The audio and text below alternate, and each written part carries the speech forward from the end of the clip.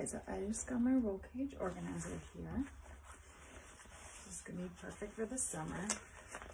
So you can see that that nice long organizer that's gonna go across the whole top bar.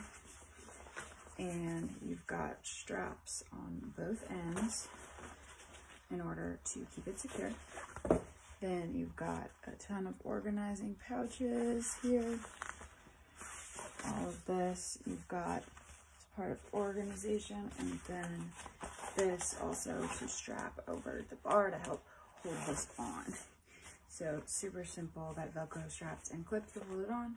And then you've got about four feet of organizer, which is perfect. And they all zip up securely so that way you don't have to worry about anything falling out.